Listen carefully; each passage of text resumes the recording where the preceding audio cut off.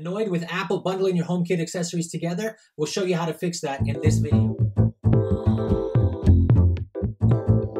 Hey guys, Chris Young here from HomeKit Geek, the channel we bring you new smart home content every week, looking at Apple HomeKit, some Amazon, some Google, some Home Assistant. If that sounds like it might interest you, please do me a favor, consider subscribing below.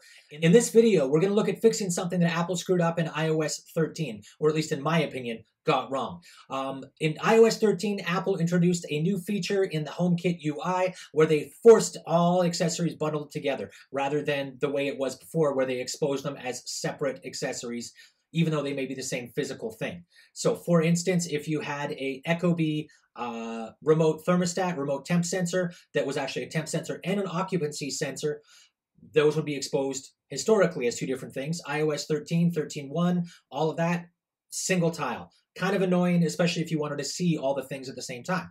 Um, again, this affected a bunch of different devices in a bunch of different ways. We're going to show you quickly how to fix that problem today because we can fix it in iOS 13.2. Thank you, Apple, for listening and, and fixing something that you never should have touched in the first place.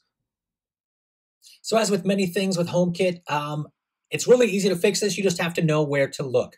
So we're going to go and find any device. And in this case, I'm going to choose the Boys Room Ecobee devices. And as you can see, this is actually a motion sensor and a temp sensor. So if we go into the settings on this, we can see there's now a new option to say show as separate tile.